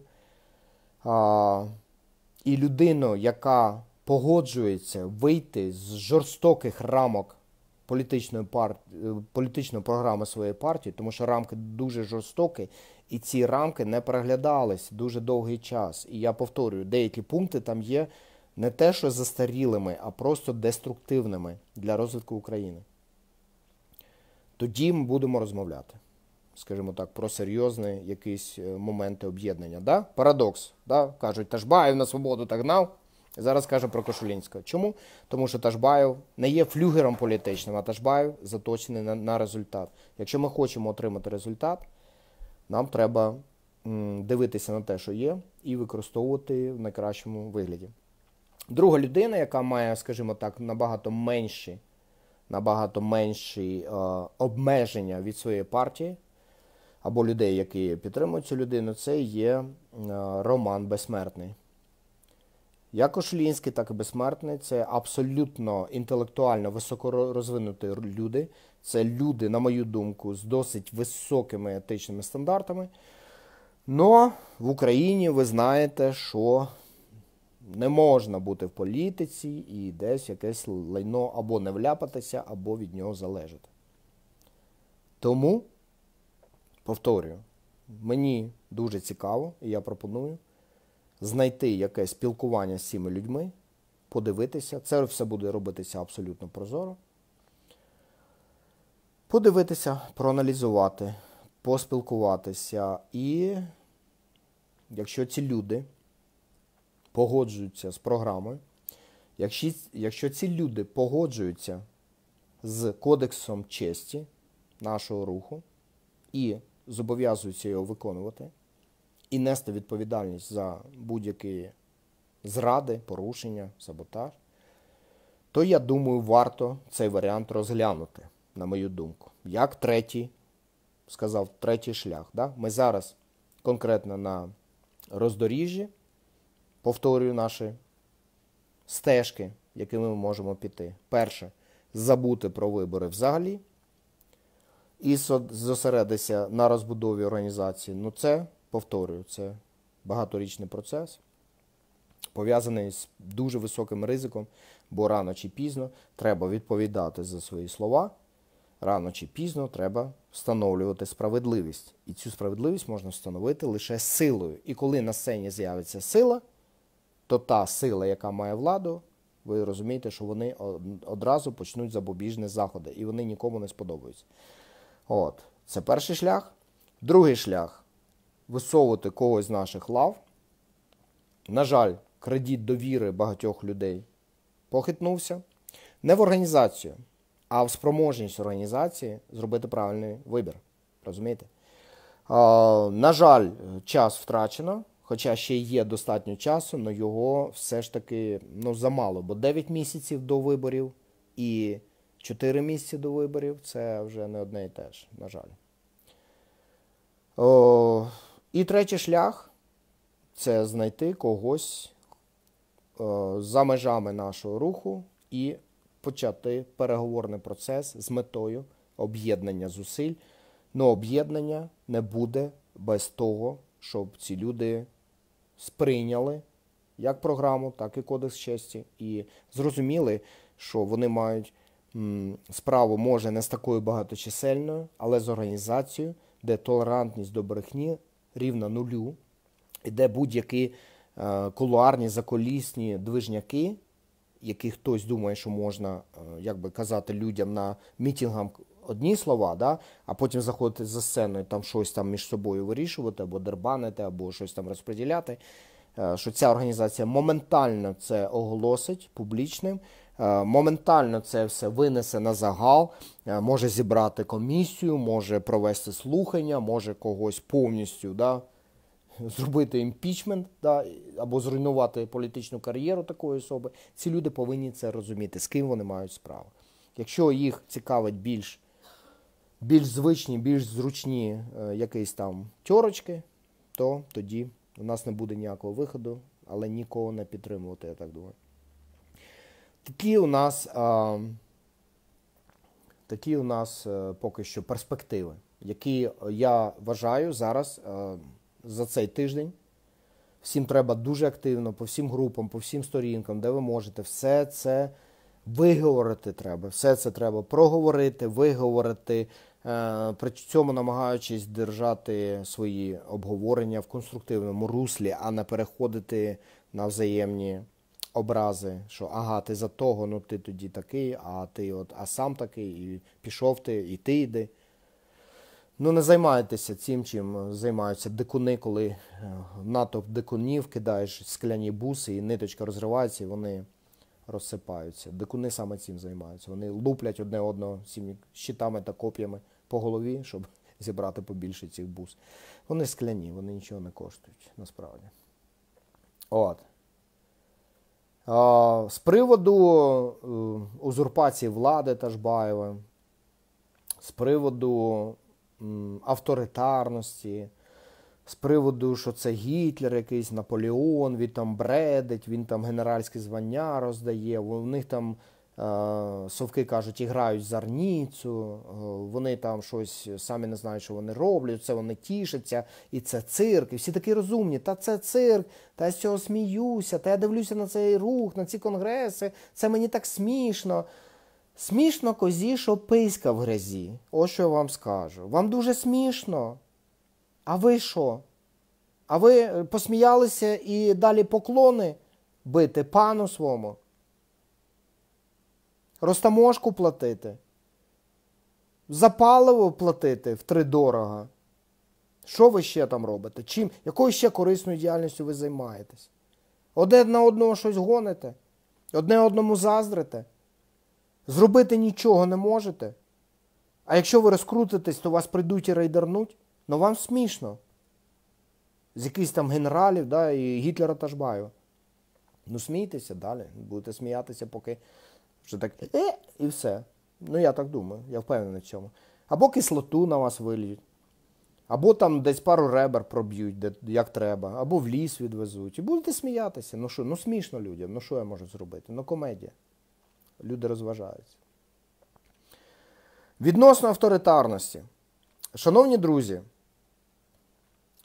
відносно цієї ситуації з Бубенчиком, в мене повноваження, які надані Конгресом до наступного конгресу, такі, що я, чесно кажучи, міг не заморачуватися, якби я був Юлією, наприклад. Да? От Юлія, вона відносно своїх політичних супротивників, вона така жорстка тьолочка.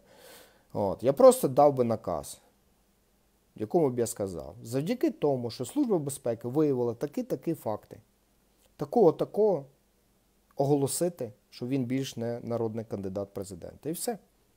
І казали б і Гітлер, і узурпатор, але був би наказ, і згідно рішенням Конгресу його треба було б виконувати. Замість цього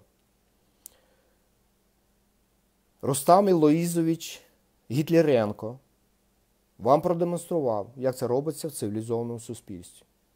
Причому ну, саме смішно була реакція деяких туземців, ну, аборигенів, там, дикунів на те, що робиться, як це робиться в цивілізованому суспільстві. Пам'ятаєте цього е, адвоката, який в етері Лена Шевченка сказав, ці слухання, оце, от, що вони зробили, це бред. Настільки він не сприймає да, цю палку, яка стріляє вогнем, да, і хтось там падає.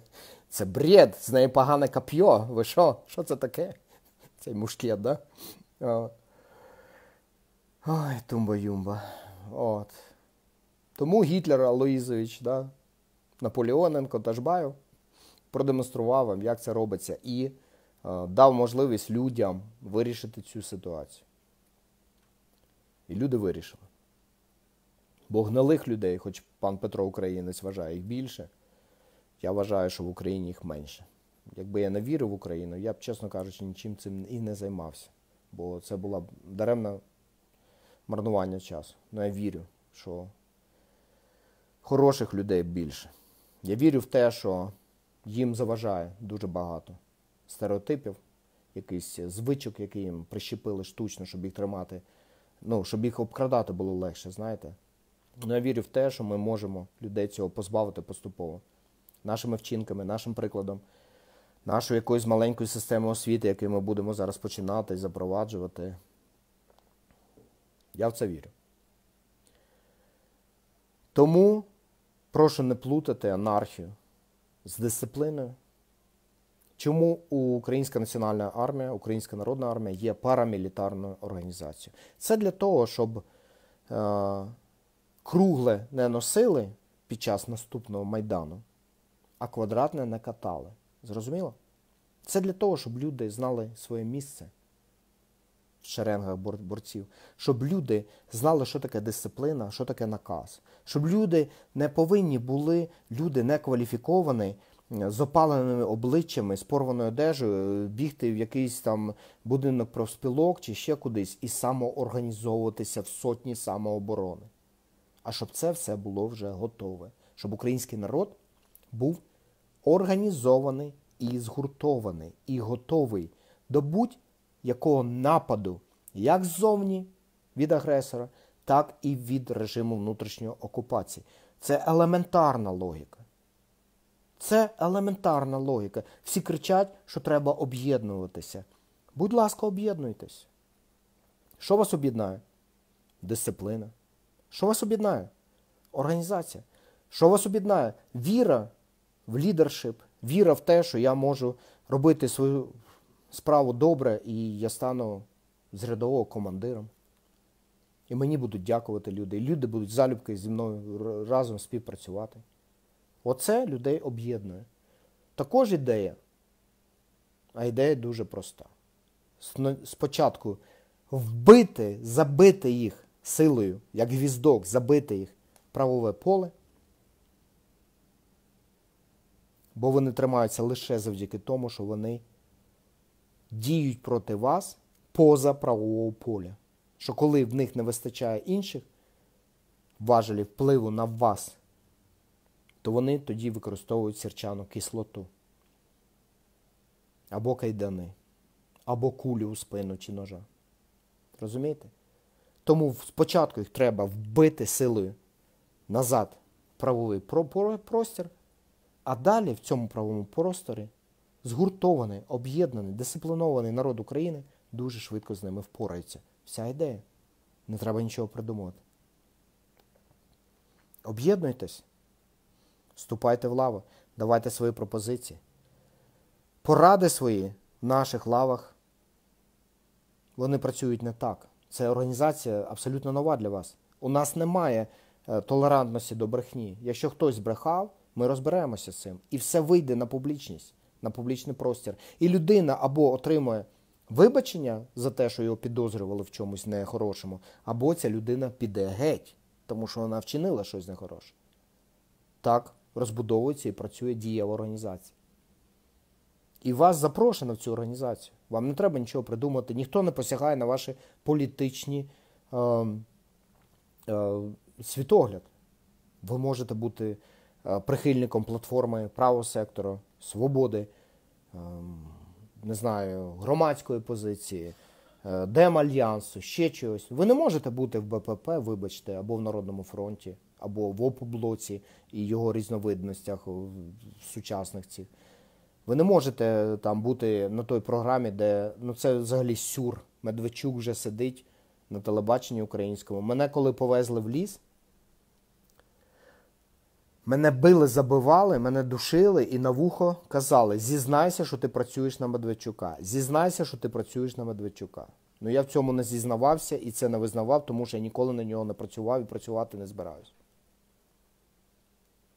І що я бачу? І ці люди, які мене били, вони казали: ми без тебе впораємося. Я їм намагався пояснити, що вас обманюють, вас використовують, вас грабують. Ну, весь в крові, я намагався ще щось їм пояснити. А вони мене б'ють і кажуть, ми впораємося і з Порошенко, і з Медведчуком, ти там, твоя допомога не потрібна. А. Впоралися? Сидить серед залу. Рабінович шестерить перед ним. Ну, як це по-іншому назвати, да? О.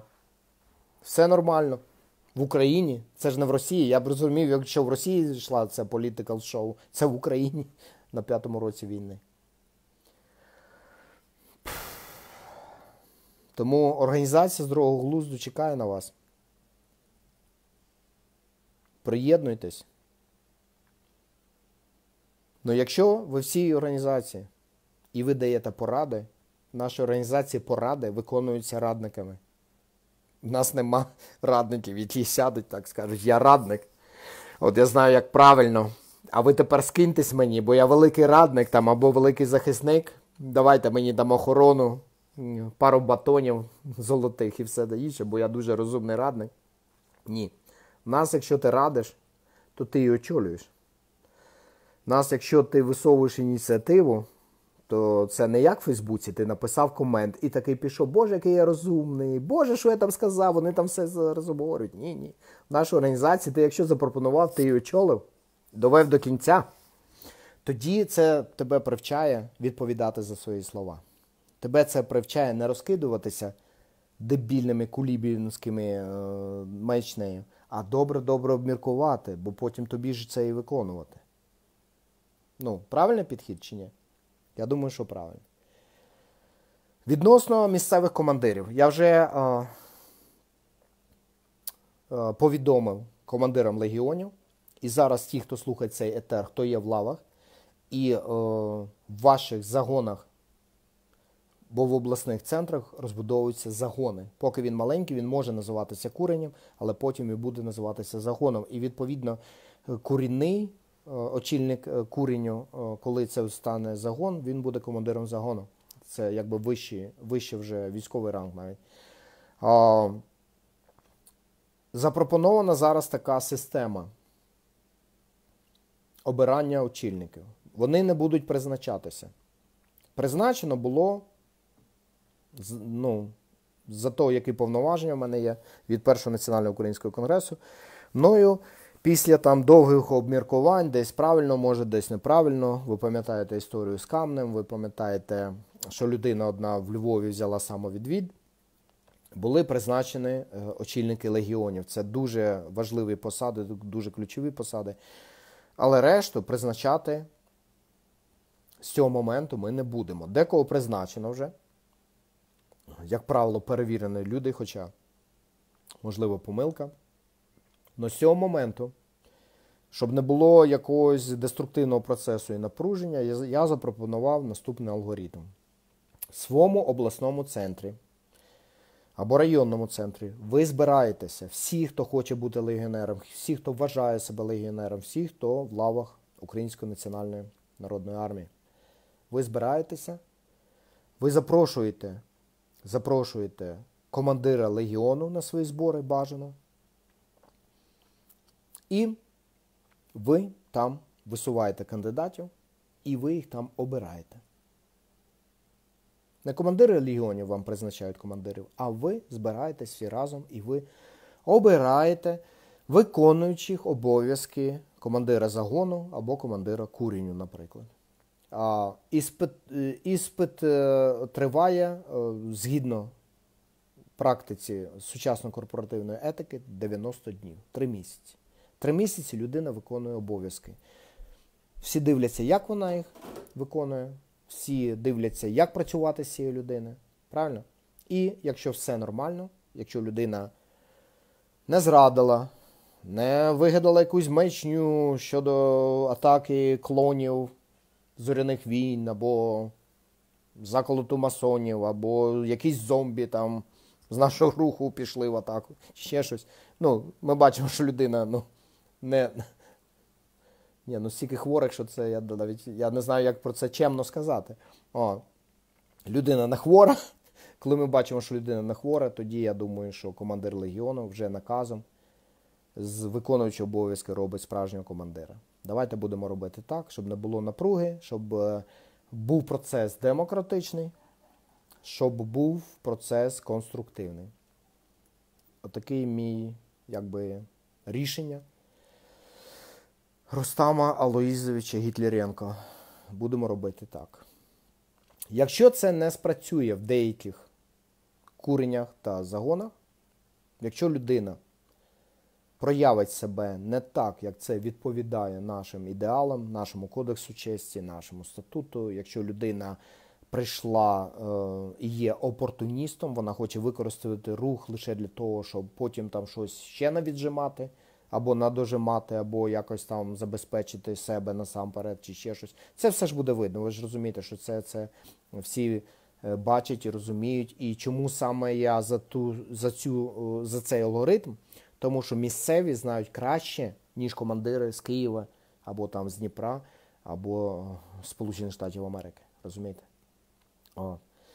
Е, якщо ж людина не впоралася, тоді вже вище командування Української національної армії та закордонних частин УПА вже має тоді всі підстави для того, що якщо треба, то призначити, просто наказом призначити командира, який вони мають. Ну, Вважають, що він більш відповідає якби, цій посаді і цій позиції. А, це про анархію, це про авторитаризм в нашому Русі, про те, який я диктатор кровавий і все таке інше. Саме такими, навіть парамілітарні організації, тобто фактично військові організації, ми застосовуємо такі демократичні методи е, обирання командирів, обирання очільників своїх місцевих підрозділів. Е, Що ще я хотів сказати? І останній пункт цього етера. Я е, я хочу сказати пану Олександру, який тут пише е, свою маячню Бовсуновському, пану Олександру Бовсуновському, який як з секунд сидить в себе в хаті на дивані і постійно пише: а коли ви вже когось завалите, да? а коли вже ви там когось тратите. А зараз він пише: ви в першій половині 21 століття плануєте діяти, чи, чи десь ближче до 22-го. Пан Олександре, я вам відповів, що я не бачу вашої анкети заяви в лави таємної екзекюти. Я чекаю на неї. Я чекаю на неї. Коли ви подасте, злізете своїх е, ну, комфортного життя, ви там айтішник чи хто ви там, і візьмете в руки зброю і поїдете в табір, будете тренуватися, і я вас особисто буду навчати конспірації, спеціальним заходам і всьому іншому, тоді ми з вами поговоримо, в якій частині якого сторіччя ми з вами перейдемо до дій. А поки що. Е, це ваше, ну, у багатьох людей е, такі якась позиція, що Ташбаєм щось повинен. Пане Олександр, я за ваш кошт не існую. Я перед вами не підзвітний, я вам взагалі звітувати не зобов'язаний. Де ті люди починають писати, що вам важко відповісти на мої запитання, то це незручні для вас запитання ставлю, то це ви боїтеся незручних запитань. Шановне, та ви взагалі для мене блоха. Я там не бачу, ви там пригаєте чи запитуєте ще, чи що щось. Да. Отут е, включається режим е, Рустама Луїзовича Гітляренко. Та ви блоха для мене, бо ви для мене пиздобол на Фейсбуці. Ви нічого не запропонували, ви нічого не зробили. Ви не сказали, Рустам, я готовий. Рустам, що я можу зробити? Ви нічого цього не сказали. Ви лише ой, а як те, а як це? А чого ви не відповідаєте на мої запитання? Там Ксентопол вже прийшла своїми запитаннями. Ви бачили, що сталося? Почала розказувати, які мені машини купляти, щоб вони були не згу... не схожі на те, на чому депутати їздять е, в Україні. Ви що, прикалуєтесь чи що? Так що, пане Олександр, ви ніяк не заспокоїтесь, е, в екзекюту вступати ви не збираєтесь, робити нічого ви не збираєтесь, але ви при цьому вважаєте за нормальне Е, ставити таке запитання. Давайте знаєте, що я зроблю? Я вас заблокую, бо я ж Гітлер, і взагалі це секта. І взагалі ми тут всі аферісти. А ви одна розумна людина, яка зараз, після того, як я заблокую, піде в стойло і буде виконувати ті нелюдські закони, які олігархи через свою кишенькову Верховну Раду застосували за останні два десятиріччя в Україні. Ідіть туди, цілуйте їх сраку, а тут вам робити нема чого, тут секта. Bye, motherfucker.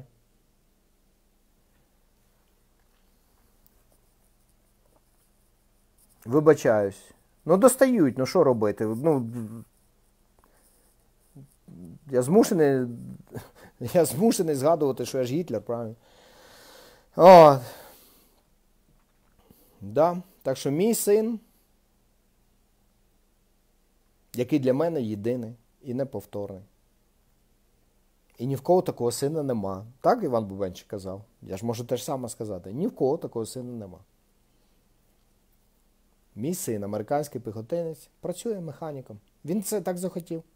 Ми його пхали, пхали в коледж, якимось, не знаю, суддєю, прокурором, адвокатом, захисником, якимось інженером, ще щось. Ні. Йому подобаються машини, йому подобаються мотори. Він любить запах цього, цієї олії моторної і крутить гайки.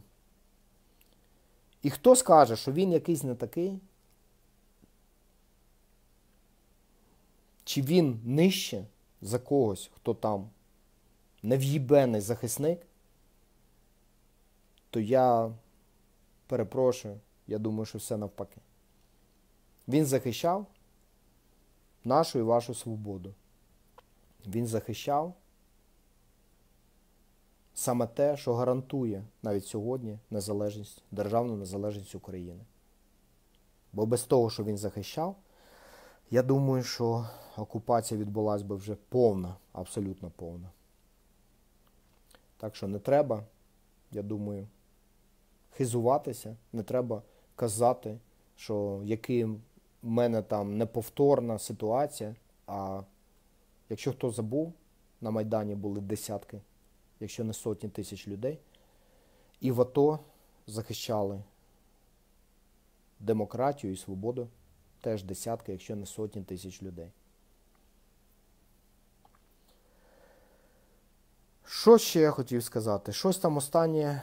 А, все, я сказав про організацію, як ми будемо зараз е, обирати, не призначати, а обирати командирів. Повторю, е, принципи залишаються такими, як і були. Кого цікавить другий Національний український конгрес? Ще не визначено, де він буде проводитися. І знову лунають голоси, більше голосів за те, щоб проводити його за кордоном, ну ближче за кордоном, щоб людям було легше добратися.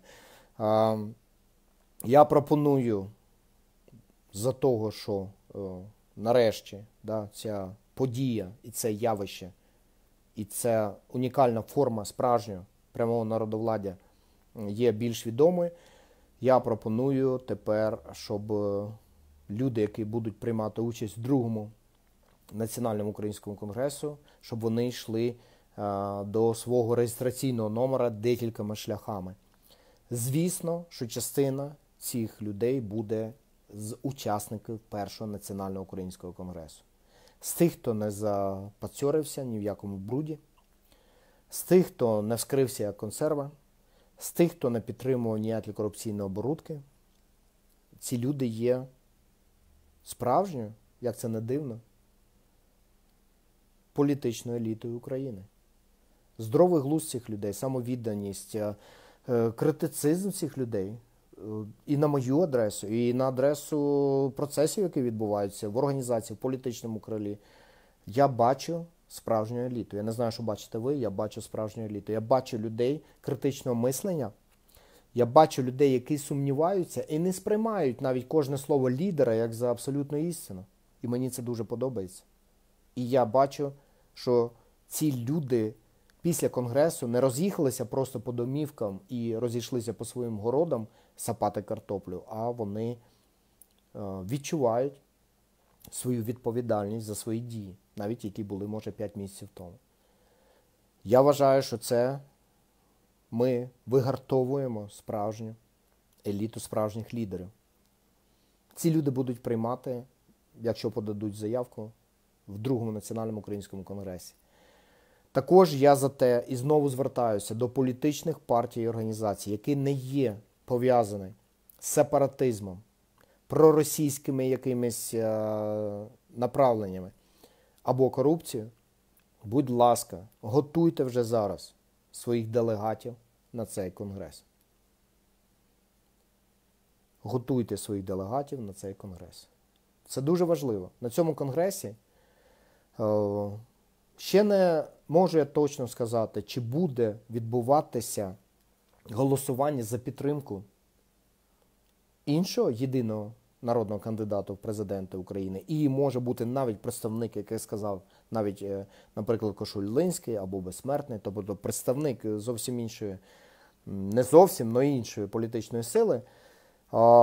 На цьому конгресі також буде прийматися політична програма, з якою наш рух і, звісно, кандидат президенти повинен іти і знищувати владу олігархату.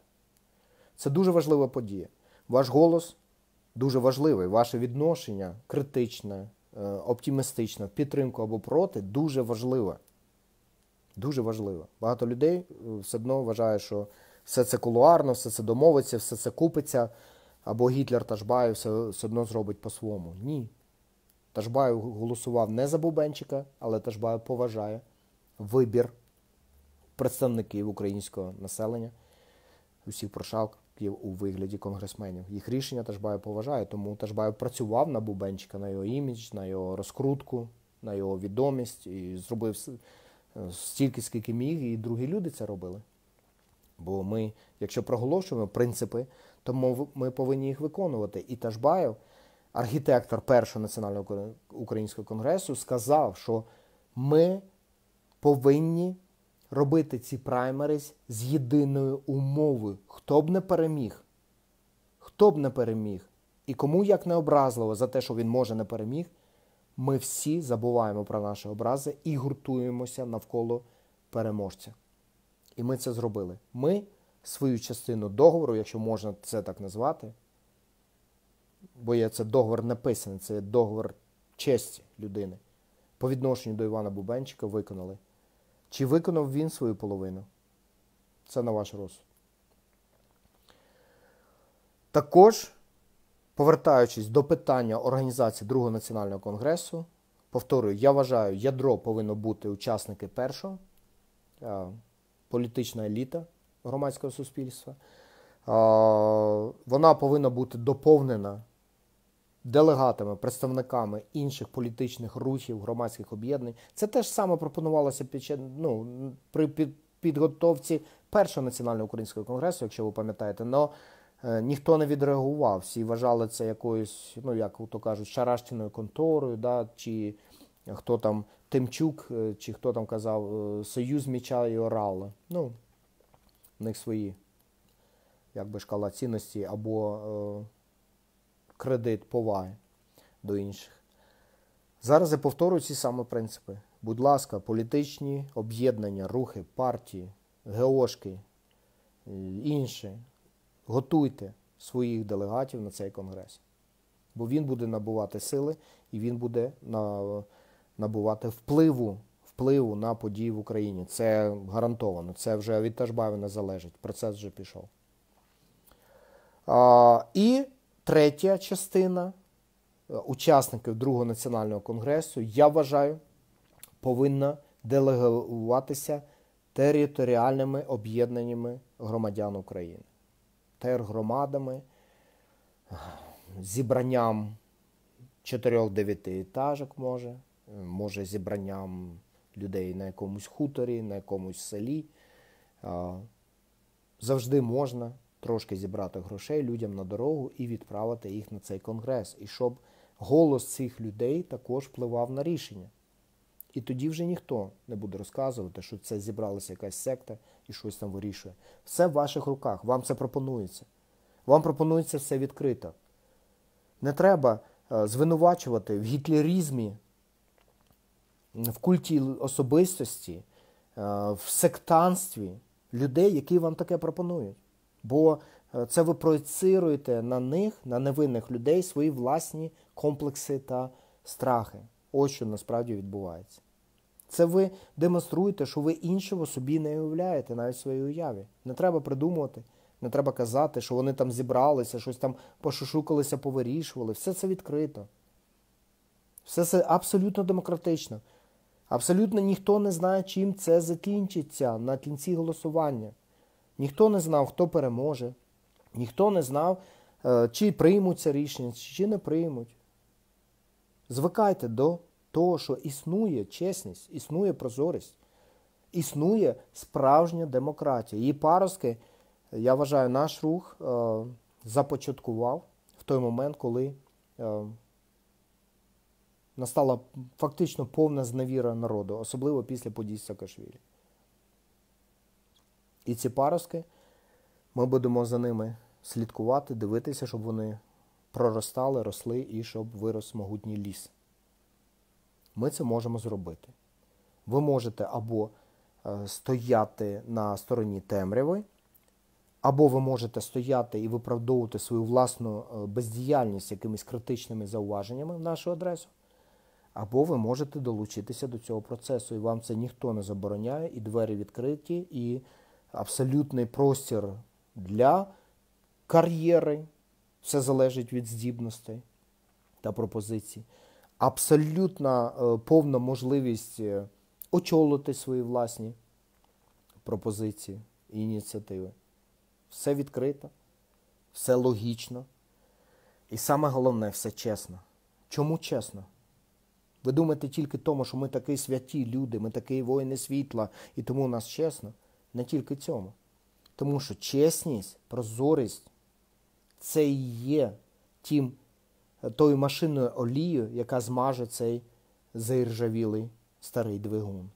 І його можна відновити, зробити капітальний ремонт, реставрувати, і він ще буде тягнути і тягнути, і радувати свого власника, яким є український народ.